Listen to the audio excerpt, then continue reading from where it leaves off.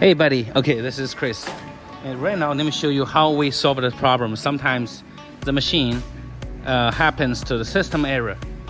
You see, right now, this is the American roulette machine. Okay, this is tabletop roulette, single player. Right now, um, there is, uh, okay, there are two credits.